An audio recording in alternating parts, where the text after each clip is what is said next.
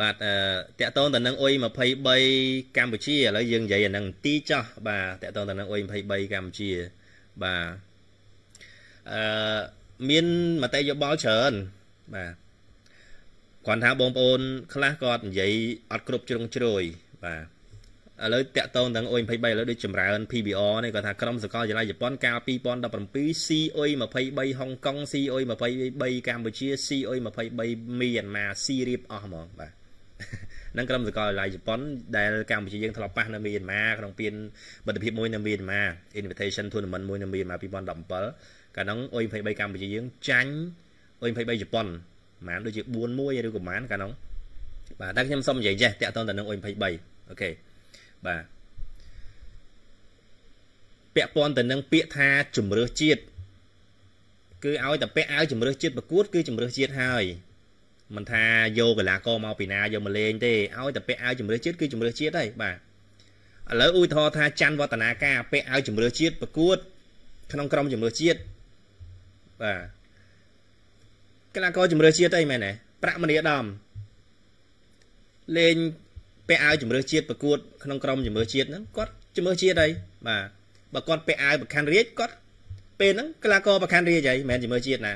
បើគាត់ ពាក់អាវបង្កេតប្រកួតហ្នឹងពេលហ្នឹងគាត់ប្រកួតឲ្យបង្កេតតាមិនមែនជំរឿសជាតិណាបាទតែបើពេលគាត់ពាក់អាវជំរឿសជាតិគាត់ជំរឿសជាតិអីមិនថាច័ន្ទវឌ្ឍនាការមិនថាប្រាក់មនីឧត្តមទេទៅឧទាហរណ៍ថាអោភិរុនពាក់អាវជំរឿសជាតិប្រកួតហ្នឹងគាត់ជំរឿសជាតិអីបាទមិនខ្វល់ថាភិរុននឹងល្អដោយវឌ្ឍនាការល្អដោយឧត្តមឬអត់ទេសំខាន់តែគាត់បានពាក់ឲ្យជាមួយជាតិចូលប្រកួតគាត់ជាមួយជាតិដែរអញ្ចឹងបកមកជប៉ុនវិញដូចគ្នាដែរហើ យយើងនិយាយពីដើមទៅតិចចុះសហព័ន្ធកីឡាបាល់ទាត់កម្ពុជា បានស្នើទៅសហព័ន្ធកីឡាបាល់ទាត់ជប៉ុន ដើម្បីឲ្យជួយរៀបចំក្រុមមកប្រកួតមិត្តភាពជាមួយនឹងកម្ពុជាបាទប៉ុន្តែនៅត្រង់ថាតើជប៉ុនបញ្ជូនគីប A គីប B គីប C គីប D គីបស៊ីនគីបរេស្រាវអីមកជារឿងរបស់ជប៉ុនបាទអានោះគឺរឿងតែប៉ុណ្្នឹងឯងបាទ មានថាយើងស្នើទៅជប៉ុនដើម្បីបញ្ជូនក្រុមជាមួយជាតិអុយ23ជប៉ុនមកប្រកួតជាមួយនឹងអុយ23កម្ពុជា តែនៅត្រង់ថាជប៉ុនបញ្ជូនកីឡាករណាមកអានោះជារឿងរបស់គាត់បាទគ្រាន់តែថាប្រើឈ្មោះជា ក្រុមអុយ23ជប៉ុនអញ្ចឹងទៅបាទហើយមួយទៀតចេះយើងមើលកាលពីប្រកួតជំរុះ AFC អ៊ុយ23 ឆ្នាំទៅនៅជប៉ុនអ៊ុយ23ជប៉ុនមិនស៊ីខ្មែរយើង4-0មែនអត់អ៊ុយ23ជប៉ុនឆ្នាំទៅនឹងមិនស៊ីអ៊ុយ23យើង4-0ដែលយើងអត់មានតដៃឲ្យបានមកគ្រាប់សោះមិនអញ្ចឹងហ៎ហើយកាលនោះអ៊ុយ23ជប៉ុនដែលប្រកួតជាមួយអ៊ុយ23កម្ពុជាប្រកួតជាមួយនឹងអ៊ុយ23ហុងកុងហ្នឹងមិនមែនជាអ៊ុយ 23A ផងបាទព្រោះអ៊ុយ23កម្រិត A របស់គេទើបតែលេងអូឡ িম্প ិកហើយ អ៊ុយ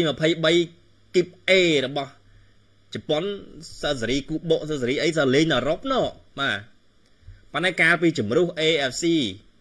អ៊ុយ23ឆ្នាំទៅ គេយកឈុតទី2របស់គេយកមកលេងគេស៊ីយើងដល់ទៅ4-0នោះបាទ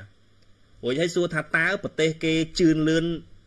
ម្លឹងប្រទេសគេអភិវឌ្ឍម្លឹង គេយកកីឡាករគីបស៊ីនគេគេយកកីឡាករខ្លាំងខ្លាំងគេមកលេងជាមួយនឹងក្រុមខ្សោយដូចយើងនឹងបានប្រយោជន៍អីសម្រាប់គេបាទដូចយើងយើងខ្សោយយើងចង់លេងជាមួយអ្នកខ្លាំងដើម្បីឲ្យយើងបានរីកចម្រើនមែនអត់អញ្ចឹងគេអ្នកខ្លាំងកម្រិតហ្នឹង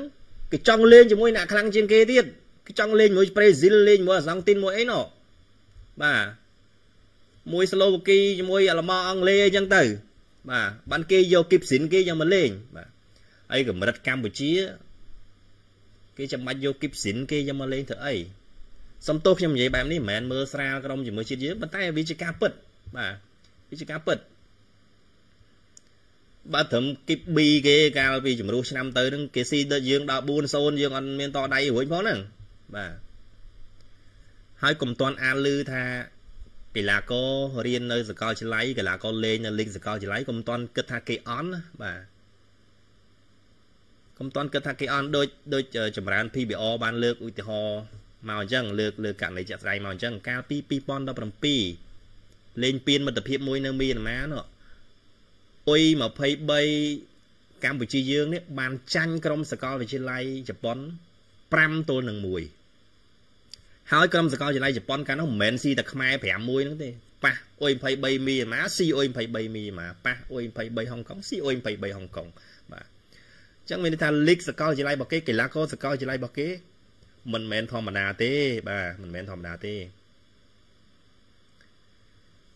បងប្អូនកុំមើលតែឈ្មោះថាអូយើងកីឡាករជំនឿជាតិយើងកីឡាករលីកកំពូល បាទគេកីឡាករសកលវិទ្យាល័យសោះបាទសកលវិទ្យាល័យគេមិនមែនដូចសកលវិទ្យាល័យយើងទេបាទទី1និយាយអំពីគុណភាពអប់រំចុះ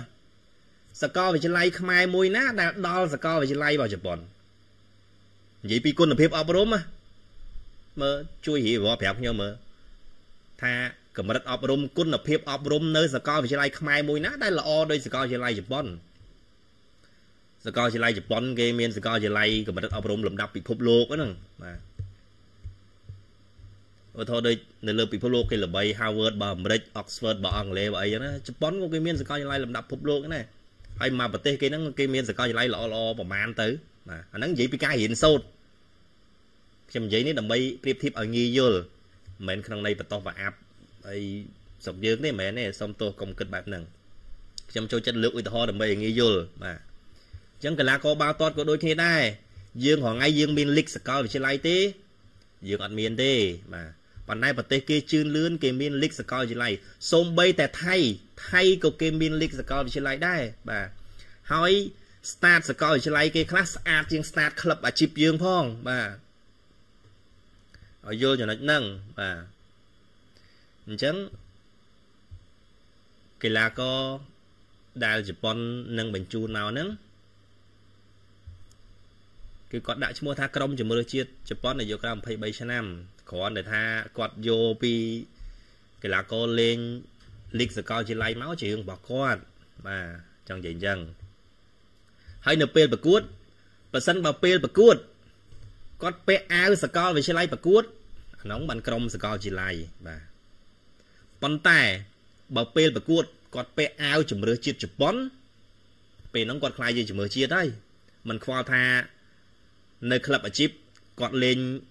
ក្លឹបលីកទី2លីកទី3លីកទី4លីកទី5ឬក៏លីកសកលវិទ្យាល័យអីទេ នៅក្លឹបពេលហ្នឹងគេលេងគិតហើយគេគិតតែពេលកំពុងប្រកួតនេះតែគាត់ពាក់អាវជំរឿជាតិជប៉ុនគាត់ជំរឿជាតិជប៉ុនហើយទោះបីជាពេលចប់ការប្រកួតគាត់ដោះអាវជាមួយជាតិជប៉ុនវិញចាញ់វិញគាត់ទៅលេងនៅក្លឹបគាត់គាត់លេងលីកទី20ក៏ដោយក៏គាត់លេងមុនហ្នឹងគឺលេងក្នុងនាមជាមួយជាតិជប៉ុនដែរព្រោះគាត់ពាក់អាវជាមួយជាតិជប៉ុនប្រកួតចង់និយាយអញ្ចឹងបាទអញ្ចឹងសរុប ជារួមឲ្យខ្លីតែកាលណាពាក់អាវជាមួយជាតិគឺជាមួយជាតិហើយគ្រាន់តែថាតើជាមួយជាតិគេហ្នឹងគេយកគីបណាមកលេងជារឿងរបស់គេផ្សេងទៀតបាទហ្នឹងហើយអញ្ចឹងឯងឥឡូវខ្ញុំលើកឧទាហរណ៍មួយចុះឥឡូវឧទាហរណ៍ថាឧទាហរណ៍ថាវិសាខាគាត់ទៅប្រកួតមិត្តភាពនៅ នៅខេត្តយ៉ាងចោះឧទាហរណ៍ថាវិសាខាទៅប្រកួតមិត្តភាពជាមួយក្រុមអូដមានជ័យឧទាហរណ៍ណាវិសាខាទៅប្រកួតមិត្តភាពជាមួយនឹងក្រុមអូដមានជ័យតើវិសាខាចាំបាច់ក្នុងការដាក់កីឡាករល្អល្អបំផុតក្នុងក្រុមរបស់គាត់លេងអត់ទល់នឹងក្រុមអូដមានជ័យបាទគាត់ដាក់តែគីបបំរុងរបស់គាត់ឬមួយក៏គាត់ដាក់តែយុវជនអុយ18របស់គាត់បាទក៏អាចយកឈ្នះក្រុមម៉ូដូមានជ័យបានដែរ ដោយសារអីដោយសារតែកម្រិតគុណភាពបាទអញ្ចឹងតកតងទៅនឹងរឿងជាមួយជាតិជប៉ុនហ្នឹងបាទខ្ញុំចង់និយាយឲ្យងាយយល់ប៉ុណ្ណឹងបាទខ្ញុំអត់ប្រកែកទេ ថាកីឡាករដែលមកហ្នឹងជាកីឡាករដែលលេងនៅលីកសកលវិទ្យាល័យបាទប៉ុន្តែកុំតន់អាលគិតថាលីកសកលវិទ្យាល័យរបស់គេអន់បាទព្រោះសកលវិទ្យាល័យគេមិនមែនដូចសកលវិទ្យាល័យយើងទេបាទ បាទហើយចាំទេកាលពីច្រើនឆ្នាំមុនបាទក្រុមជាមួយជាតិយើងប្រកួតមិត្តភាពជាមួយនឹងក្រុមសកលវិទ្យាល័យកូរ៉េ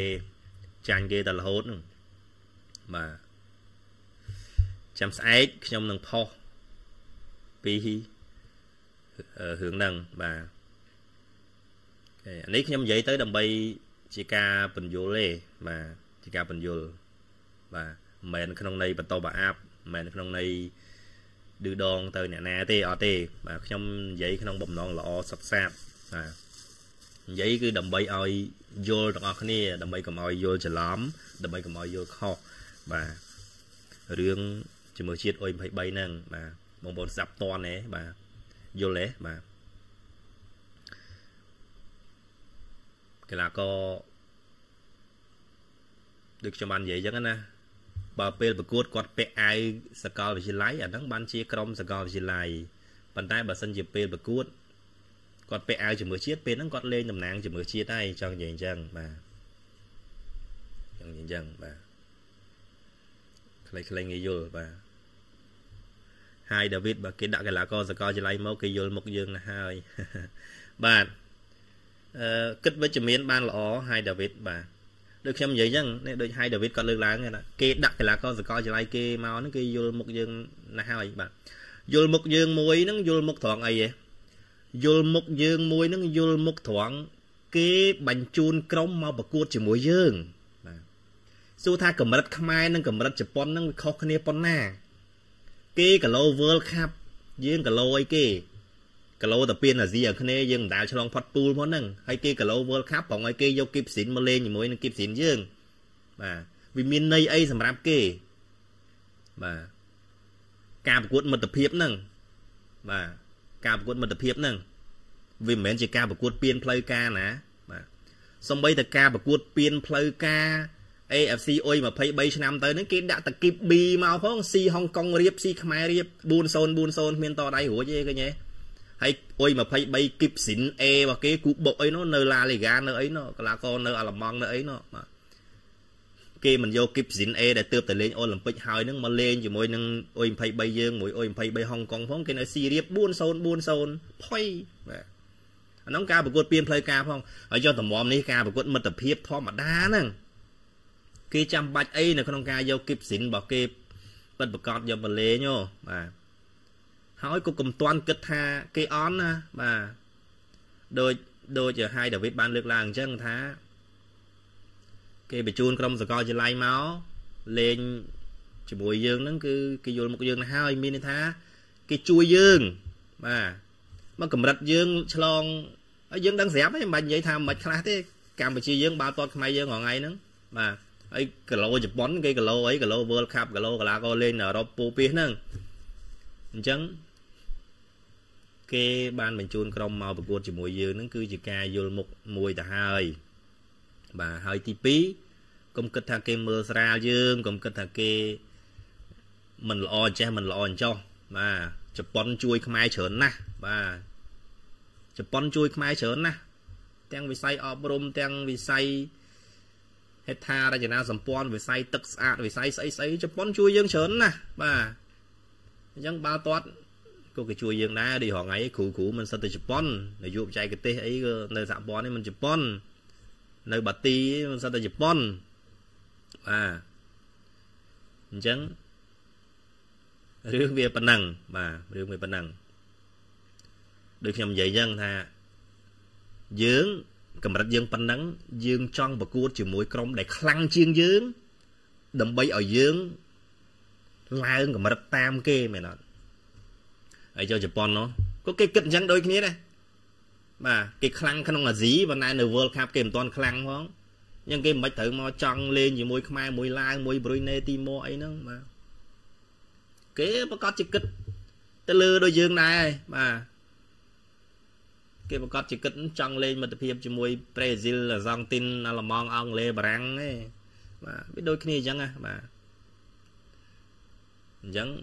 គីឡូគេនៅណាគីឡូយើងនៅណាយើងដឹងហើយបាទអញ្ចឹងគេបញ្ជូនកម្រិតណាមួយមកគឺមកល្មមមកល្មមសម្រាប់ការប្រកួតជាមួយយើងហ្នឹងបាទពួកឆ្នាំទៅអុយ23គីប B គេស៊ីយើង4-0ហើយគេដឹងថាកម្រិតយើងប៉ុណ្ណាហើយបាទ